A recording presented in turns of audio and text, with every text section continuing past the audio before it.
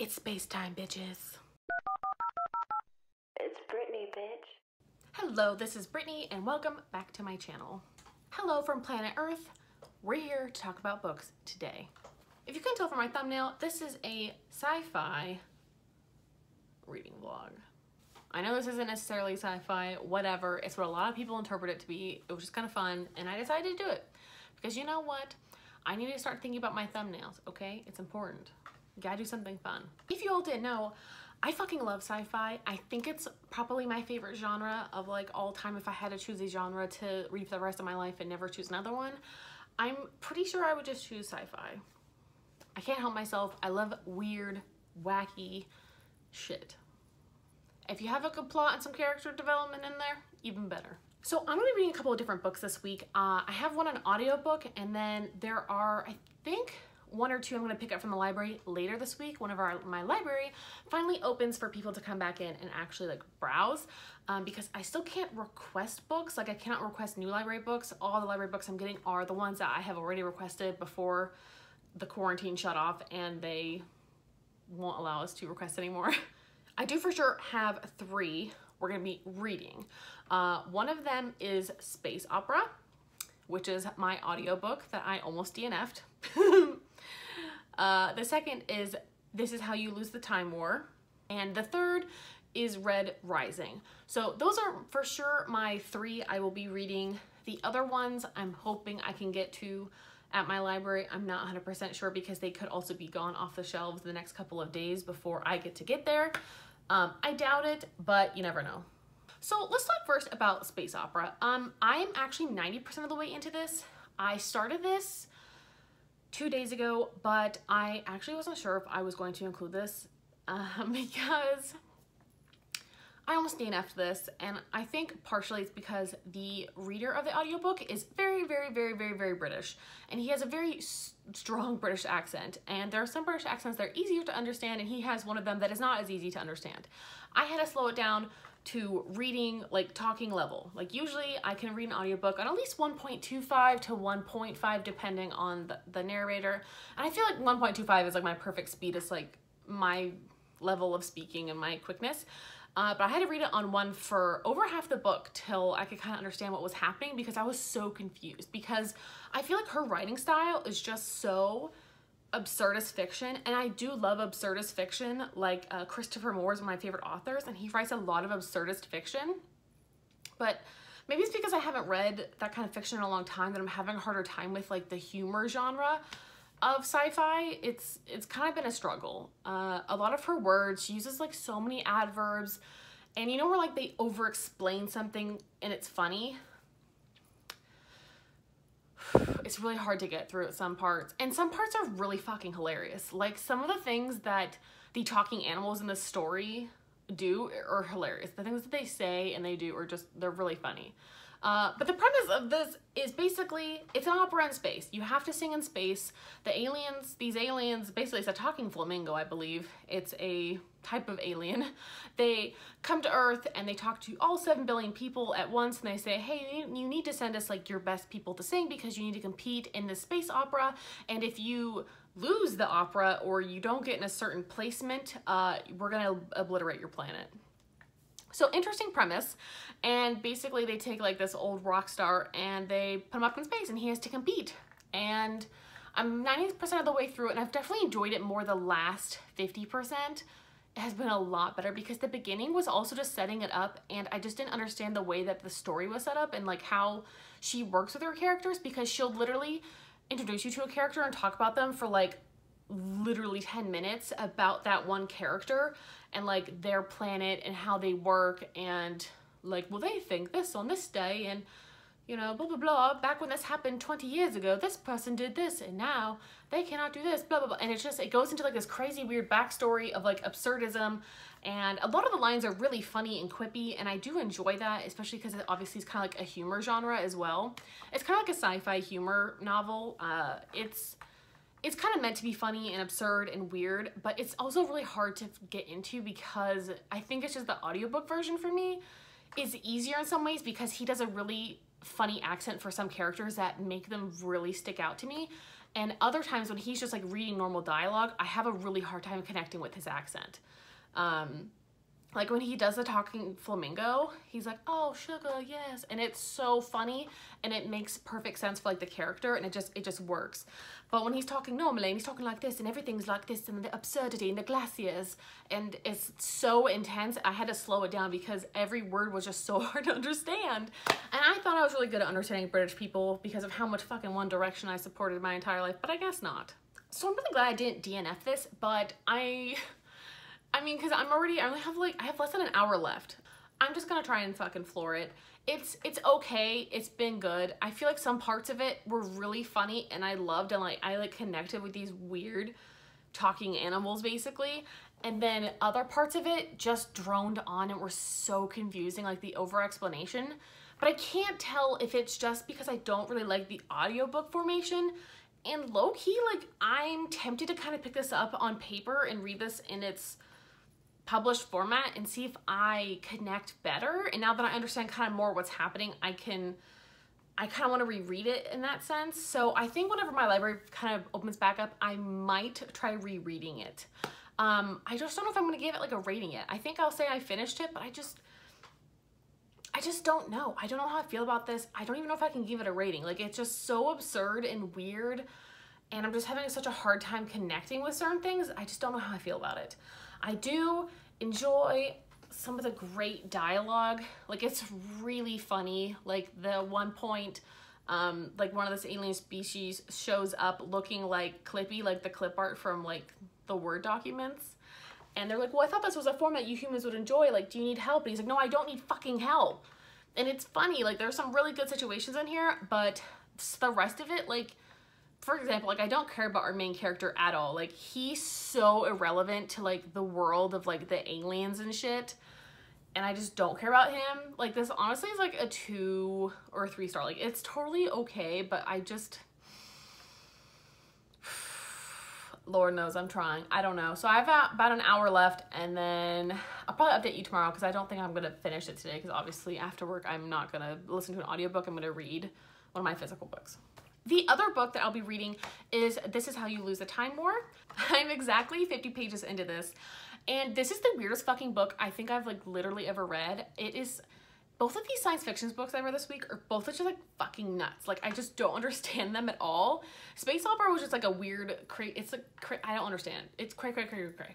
This is like confusing, dense, like, like shit. I just don't understand. I want to understand. Ugh, okay, so synopsis. This book is basically about two women who are separate agents in a time war. What they're fighting for right now, I do I don't know. I don't understand. I have no fucking clue. But it basically starts out with like red and blue. So they're both women and apparently they're supposed to fall in love through these love letters. They basically leave each other. And they're not like love letters yet but they're just letters. They like leave each other like they're fighting on two sides of the different war. Like one of them is like more of like a robot, and the other one is like from the green side, and like they grow into beings. It's so weird. I don't understand it at all, but it's very fascinating. And I just like keep reading to try to understand what's going on because I'm just so fucking lost. But it's so intriguing. Like at one point, I think it was Red, she literally goes and like takes these guys bones and offers them up to like a god.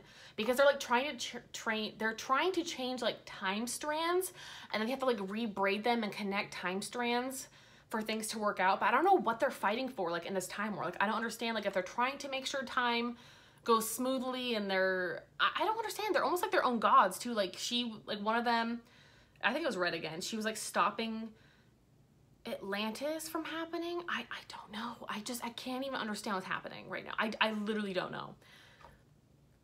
I feel psychotic. Just like reading this book, like I, I'm trying so hard to explain this to you. I, I don't even know. I'm like getting upset about it. Also, all the words in this are just like, like the, it's so choppy and dense and like very pretentious writing, honestly. It's like, it's pretentious. Like, that's the best way to describe it. It's like the fancy writing. She reaches what was once a letter. Kneeling, she stirs the ashes. A spark flies up and she catches it in her hand. She removes a thin white slab from a pouch at her side and slips it under the ashes, spreads them thin against the white, removes her glove, and slits her finger. Rainbow blood wells and falls and splatters into gray. She works her blood into the ash to make it a dough, kneads that dough, rolls it flat. All around, decay proceeds. The battleships become mounds of moss. Great guns break. She applies jeweled lights and odd sounds. She wrinkles time. The world cracks through the middle. Like, what the fuck? Literally, dude, I have no idea what's going on in this book, and it's so fucking weird. I can't say I'm not enjoying it, but I'm just having such a hard time grasping what's happening because every part of this fucking book is so elusive. Like every part feels like an exclusive club that I need to get into and each one is a different club. Like each chapter and each letter because at the end of each chapter there's a letter from one to the other and then it jumps to each perspective. And each one of them feels like their own special airline club that I'm not invited to. I because there's so many rules like I just don't understand. Like how do they work? Like I'm kind of getting more of it. Like Red doesn't need to eat but she does eat because she enjoys it. I, I mean, I just don't understand. Like, what are they fighting for? Who are these people? Are they even human? I do know Blue is uh, a woman of color because they described her dark skin. So I like that. That's nice that we have different kinds of characters. And she's like the one that's kind of like the garden version. I don't know. It's so fucking weird. I'm just... I'm so lost in this in the best way. Like, I just don't understand, like, why they're, like, why they're, like, burning villages and letting bad things happen. I just feel like they're weird catalysts for something. I just don't understand if, like, they're, like, like, gods or something. I just don't know. This is less than 200 pages. And I'm already a fourth of the way through technically, but, like, I'm just so confused. I'm trying to actually take it slow when I read because I'm trying to understand what's happening. I'm really trying.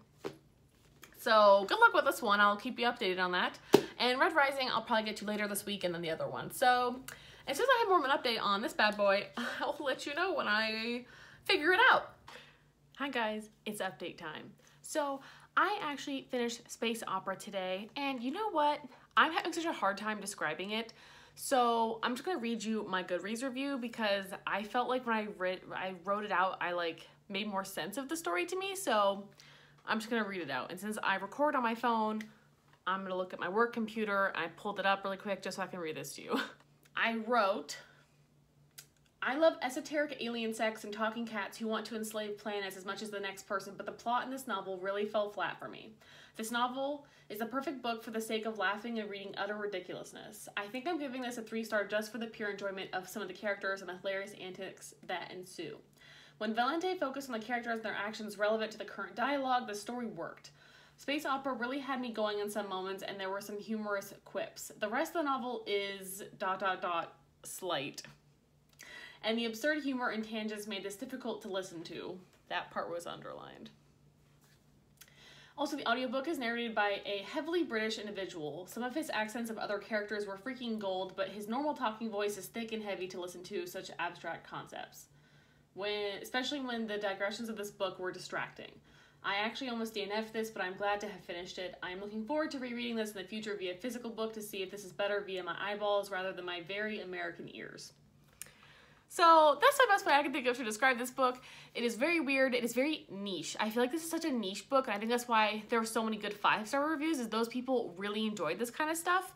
And I do too. I think I just haven't read anything like this in a long time, but also, like, I love humor and niche shit, but I feel like the plot was just so garbage in this. And it's such a shame because I would have liked a better story. Like, this has so much potential to be, like, really, really good.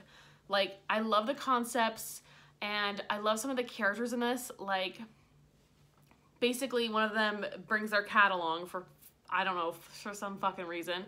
And um, the cat is given the ability to speak, and the cat's like the best fucking part. It's hilarious, and it's just so funny.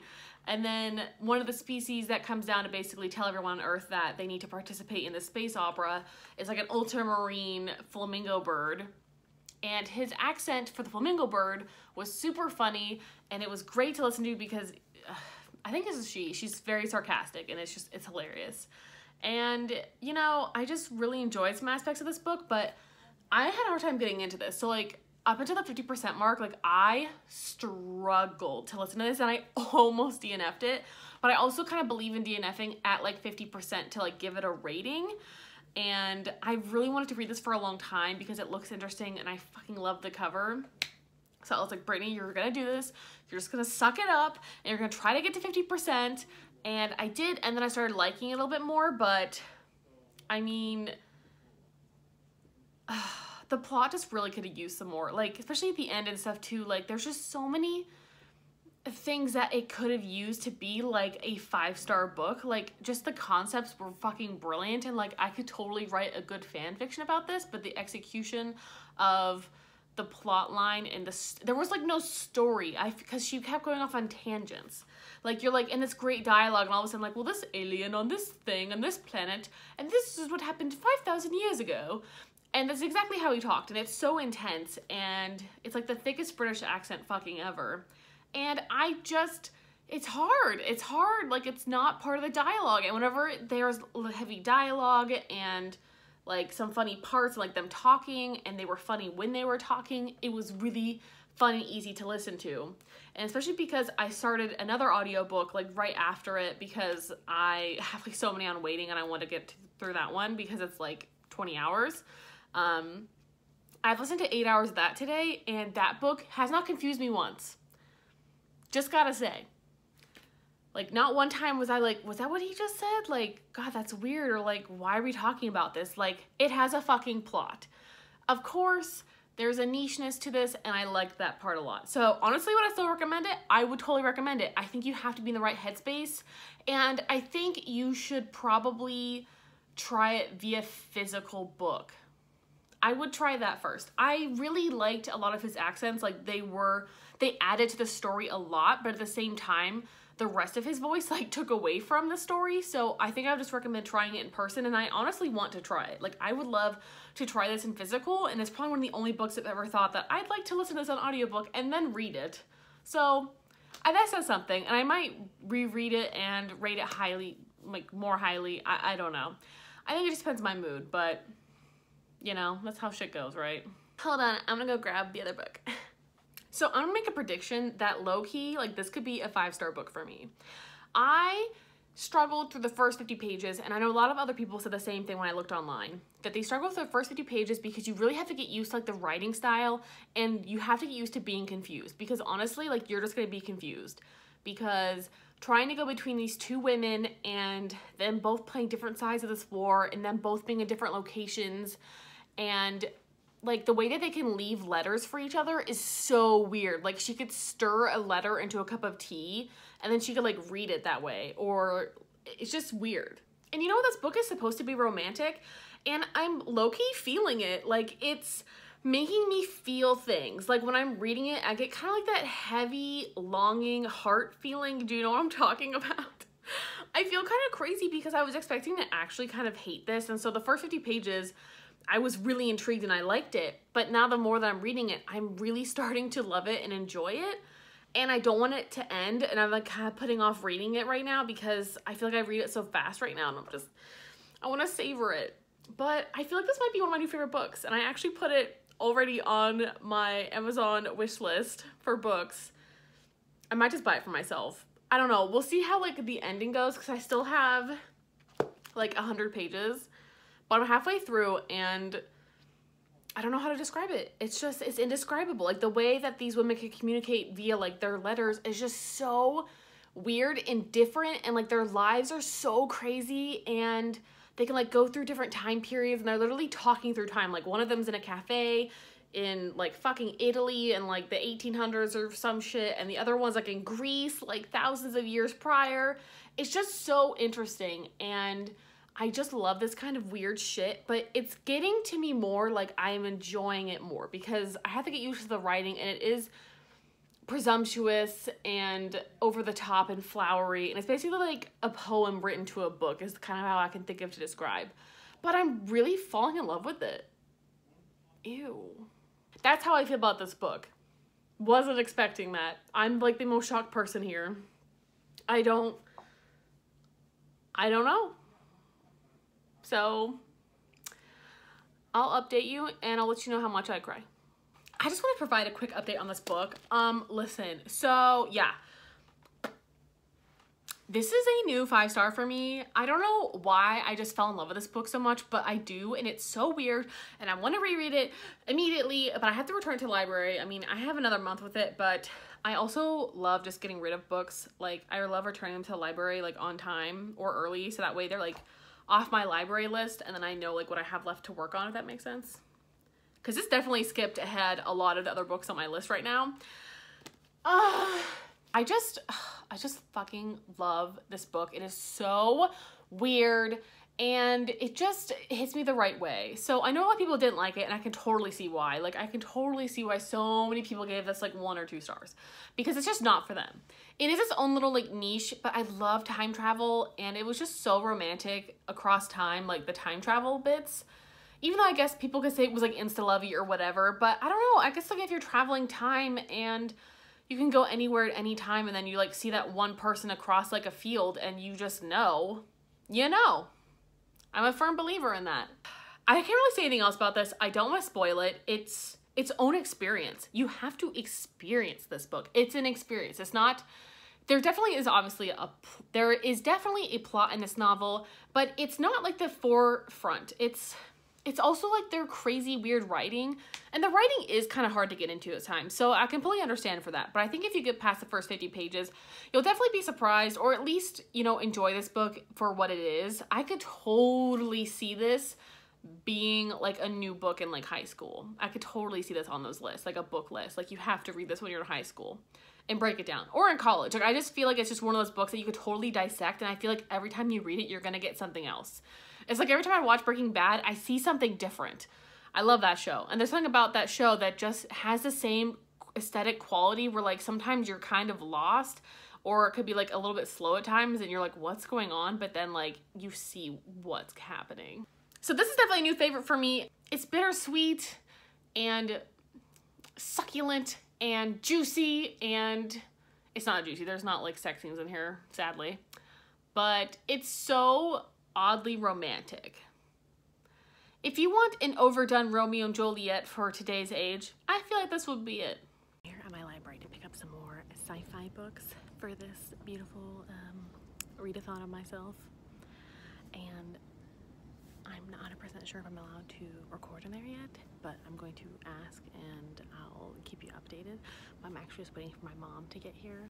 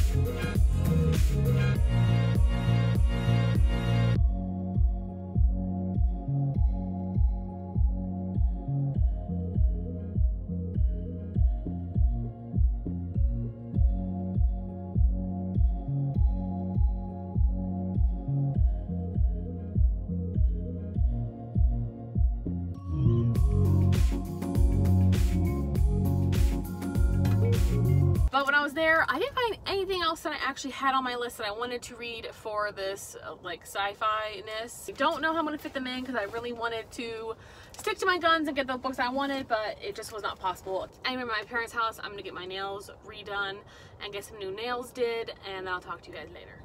Okay, so true story.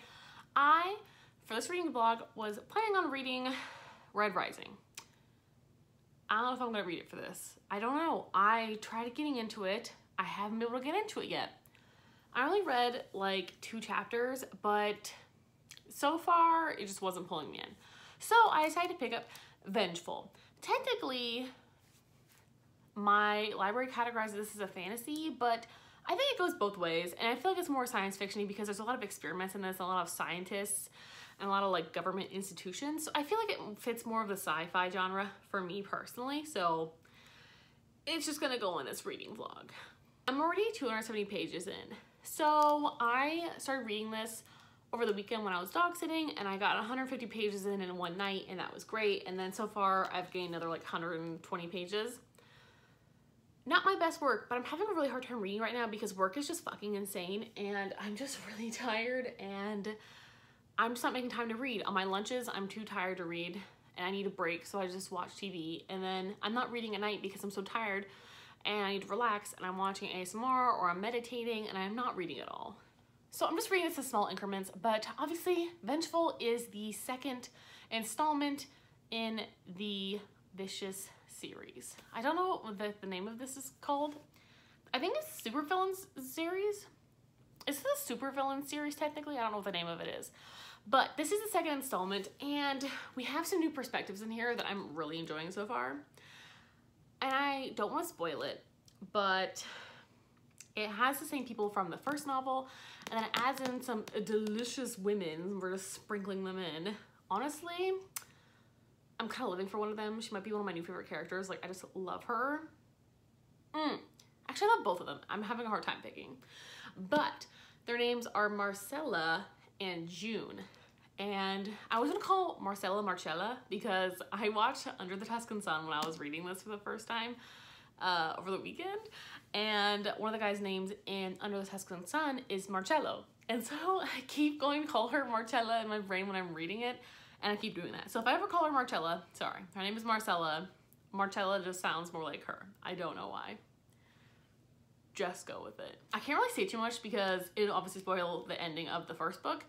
And there's just some new perspectives in here and it's very interesting and there's lots of government stuff and experiments which are a little hard to listen to.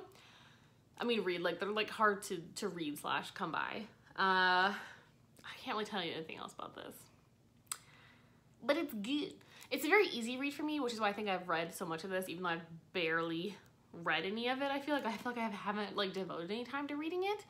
It's just been like lackadaisically reading it when I have like 10 minutes of focus. So I'm pretty proud of myself and I hope to finish it this week. I was hoping to finish this in like a day or two, but I don't know if that's gonna happen. But I want to keep to my schedule and it's already like past my schedule and I wanted to read Red Rising in between then, but I just couldn't do it. I don't know, Red Rising, I don't know if I'm gonna like it. I don't know, I thought I was gonna love that book and I think I probably could still, but I'm just struggling with it. I think I have a struggling period and I just have no motivation. And since the concept was like kind of big for me, just I'm struggling and I have a really bad headache. I just want to get in the shower and wash this day away. So I think that's what I'm gonna go do. We're all blessed because today is Friday. And I think I'm probably gonna finish this tonight. That's my goal. That's what I'm thinking. Don't know. I'm currently on page 420. Holla! and it has like 478 pages or something. So I'm hoping I'm gonna finish that tonight. But if I don't, um, I'll probably finish it early tomorrow morning on Saturday and just sit and finish it so I can just fucking finish it. Um, super excited about that because I just felt, I think I've read this all week. I'm pretty sure it's taken me like, well, like it'll be almost exactly a week, I think, that actually took me to read this. So not great for me, but I think I'm just a little burnt out because of how much I read this month and listened to an audiobook too. Like I was burning the candle at both ends. I think that's what happened. I don't know. But it's it's really good. I don't know if I like this more than the first one. I think they're on pretty even levels for me. It's reading a little bit like an action film, and I'm not always the biggest fan of action films. I mean, it just depends. I feel like was it, I think it was like Batman Begins or whatever. Great film. But I don't know if I'd want to read about it all the time. I don't know. It's just not usually my thing. So it's feeling a little X-Men-y too. Like it feels a little bit like X-Men mixed with like Batman. Do I hate it? No. I'm enjoying it. Would I give this one five stars? I, I don't know. Like, I've enjoyed it the whole way, but it's just not hitting me like it did with the first one for some reason. Maybe it's because it was totally new to me as a concept and it was just really interesting how they died and every time the way you die like have a near death experience and come back from it that's what your power is. So like um i'm gonna like go on a limb here and say like if you were like god i wish i wasn't so cold like while you were dying i'm sure like your superpower would be being hot all the time like a fire or something. I have no idea. So it's really interesting how this world works and this one is a little more like crime thrillery too because they're trying to like we're working like with the cops to try to find people. Interesting. Also, I understand that I am indeed wearing a sweater and it is 102 degrees outside in California today. However, it is not 102 degrees inside. I feel like of the hotter it is outside, the colder it is in here because our air conditioning is working extra hard to make it cold in here. And then I feel like it's just blowing constantly on me all day because my vent's like right there. And then I just get so cold, like my hands are cold typing at work and then it's just, not good. So I just put on a light sweater.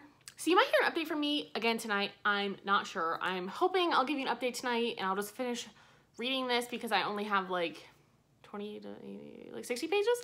So we'll see how that goes.